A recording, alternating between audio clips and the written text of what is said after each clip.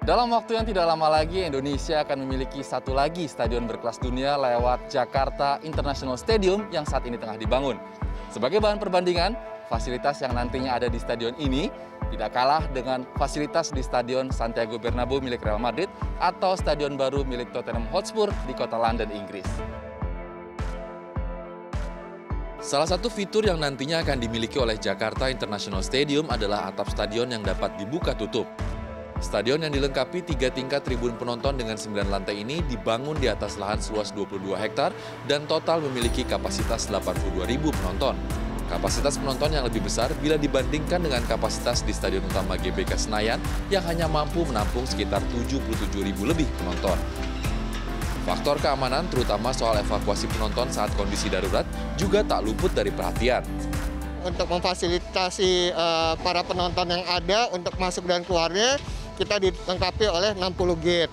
Karena kita punya proyeksi dalam keadaan full match ya dalam event dengan kapasitas 82.000 penonton diharapkan kita bisa mengevakuasi dalam jangka waktu 8 menit.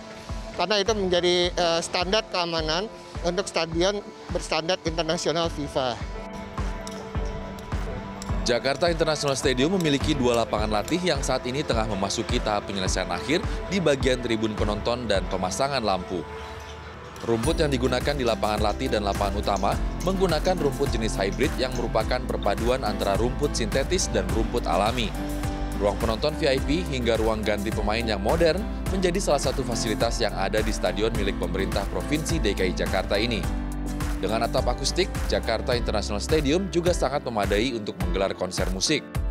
Di bagian bawah atap stadion akan dibuat area catwalk yang dapat digunakan untuk melihat ke lapangan utama.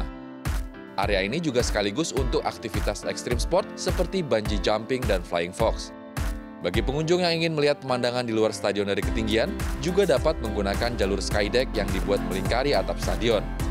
Terintegrasi dengan taman BMW dan sejumlah moda transportasi umum, stadion yang dibangun dengan biaya lebih dari 4 triliun rupiah ini ditargetkan akan selesai pengerjaannya akhir tahun 2021.